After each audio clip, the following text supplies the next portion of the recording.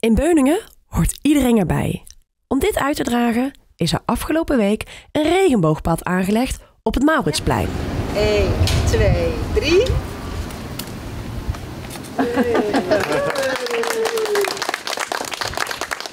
Het is een wandelpad en het is aangelegd omdat het een idee was van onze kinderburgemeester. Die het belangrijk vond om in Beuningen te laten zien dat iedereen erbij hoort. Over de locatie van het pad is goed nagedacht. Het is het centrum van Beuningen.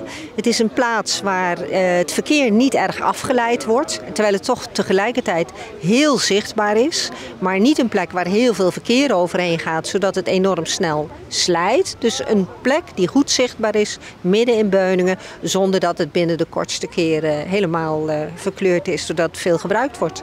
De aanleg van het pad liep enige vertraging op vanwege het slechte weer. Het is wel zo dat we goed hebben moeten kijken wat voor materiaal je gebruikt. En we hebben moeten wachten op droog weer, want het is een hele natte, koude zomer geweest.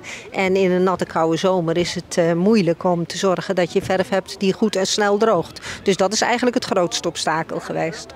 Ondanks dat Siem inmiddels geen kinderburgemeester meer is, mocht hij het pad, dat zijn initiatief is, nog wel officieel openen.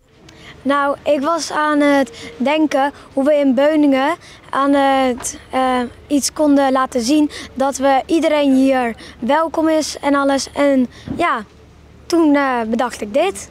Ik denk dat het heel goed gaat, gaat doen. Dat iedereen gewoon kan zien dat, ja, dat iedereen welkom is. En ik hoop ook dat dat in de echte wereld ook gaat gebeuren.